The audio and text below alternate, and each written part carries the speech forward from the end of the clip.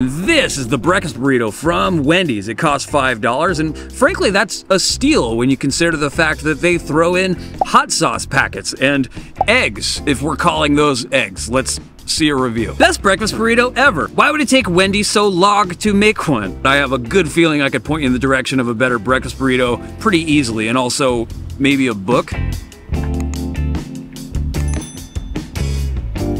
Dry. I really do like Wendy's. I think they might make the best bacon in the whole industry, but this thing is it's all dry and $5.67. I think it took Wendy's so long to make it because they had to let the whole thing dry out first. And I could see it being the best breakfast burrito that somebody's ever had if they're a if they're a beaver that eats wood because because because wood is dry. If you want to see the best breakfast burrito I've ever had, as well as a drive-by shooting, then click on the link I'm going to put right down here. It'll take you to the first video that we ever made for this channel. But if not, then